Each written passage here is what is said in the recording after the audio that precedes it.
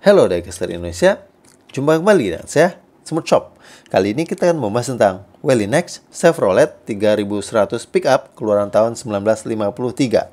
Ayo kita mulai.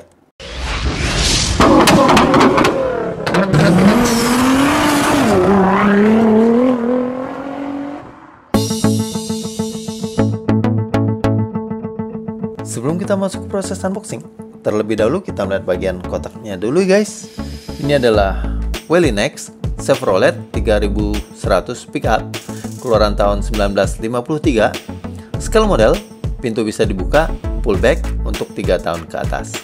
Sedangkan untuk bagian atas seperti ini, tidak ada yang perlu saya bahas, kita lanjut ke bagian belakang. Di sini ada berbagai merek pabrik mobil, jadi produk ini sudah mendapatkan lisensi resmi dari pabrik mobil yang tertera di sini. Sedangkan untuk bagian bawah di sini ada berbagai merek pabrik mobil lagi dan ada stiker SNI. Untuk pembahasan bagian kotak menurut saya sudah cukup. Selanjutnya kita masuk ke bagian diecast.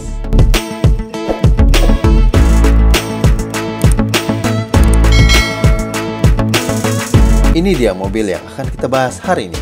Kita ukur dulu ya guys.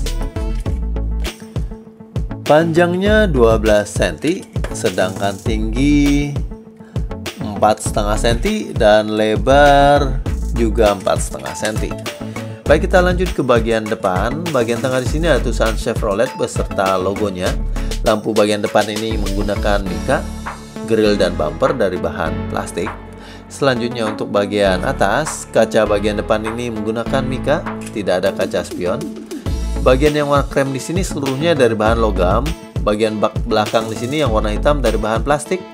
Selanjutnya untuk bagian samping, ban terbuat dari bahan karet, peleknya dari bahan plastik. Mobil ini tipe pullback, jadi seperti ini ya. Untuk pintu kanan dan kiri bisa dibuka. Setirnya ada di sebelah kiri. Setir dan tempat duduk bagian dalam terbuat dari bahan plastik. Selanjutnya untuk bagian belakang, Bagian tengah di sini ada tulisan Chevrolet, tidak terlihat ada lampu bagian belakang ya. Bumper bawah dari bahan plastik. Baik kita lanjut ke bagian bawah. Sini ada tulisan Welly nomor 43708 made in China 1953 Chevrolet pickup use under license. Bagian bawah ini yang warna hitam seluruhnya dari bahan plastik. Baik untuk pembahasan mobil Chevrolet ini menurut saya sudah cukup. Buat Anda yang berminat, silahkan cek link di bawah dan sampai jumpa di video saya berikutnya. Terima kasih sudah menonton sampai selesai. Sampai di sini dulu video saya hari ini. Saya dari Semut Shop pamit undur diri. Stay tune for the next update. Jangan lupa untuk memberikan pendapat Anda tentang diecast ini. Sebisa mungkin akan saya jawab. Dan jangan lupa di like, share, dan subscribe. Salam Diecaster Indonesia. Bye-bye.